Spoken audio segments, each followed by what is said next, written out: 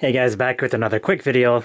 This time I'm just testing the autofocus performance in video mode between the Nikon Z6 and the Nikon D850. Now in video mode, the Z6 kills the D850, you know, in live view mode. But in still mode, there's no contest. The D850's autofocus is much quicker, also in low light, than it is on the D or the Z6 for stills. But for video, the Z, that's where the Z6 actually comes into its own. So yeah, my conclusion owning both these cameras is if you're going to do a lot of still photography and you need the highest resolution and the fastest, most precise autofocus, the D850 still rules for that.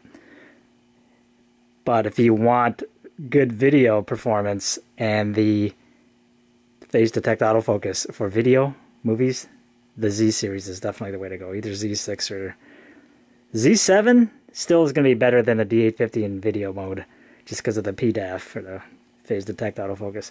But the Z6 is probably going to be better for video than even the Z7 just because of the full pixel readout. All right, guys, here's some samples I'll show you really quick, just, you know, demonstrating both these lenses. So that's a 35-1.8. I put them at the same aperture. I put the 24 to 70 at 35 millimeter just to kind of make it fair. I know the minimum focus distance is going to be a little bit different, so I try to compare it as fairly as I can in that sense and um, I'll do some real world outdoor stuff. But this is under good lighting conditions, just you know, close close to medium distance, just to kind of show you how fast the autofocus is on the Z6 compared to the D850 in movie live view mode. That is. All right, guys. Hope you find this interesting, at least uh, useful, and I'll do some more tests, and I'll see you guys next time. So this is the D850 focusing with the 24 to 70 2.8 in real time here. So you can see it kind of hunts around a little bit. Actually, that might be too close. Yeah.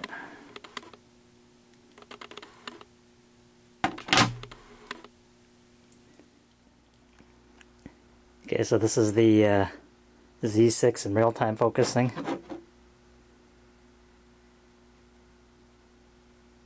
So as you can see, it does pretty good. It's pretty smooth. It's not as jerky. It doesn't hunt like the D850 does.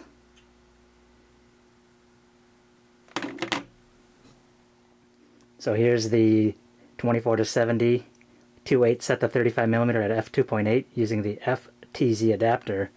Let's see. So right away you can hear more noise from the autofocus motor.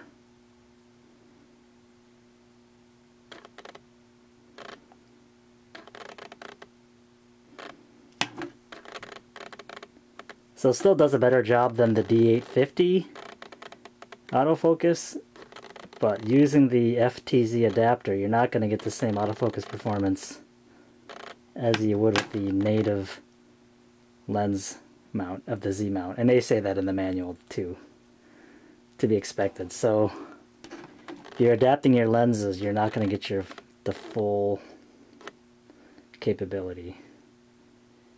I guess it stands the reason since you're using an adapter, right? It's not the native lens itself.